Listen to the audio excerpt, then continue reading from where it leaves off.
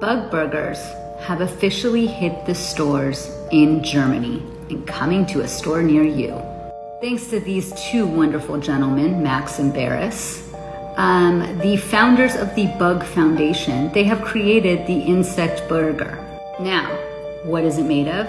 This is where it gets good. They are made of cultivated and carefully processed buffalo worms, which are molded beetle larvae. Makes me want to throw up right now. So, who's going out and getting those insect burgers as soon as they hit your shelves?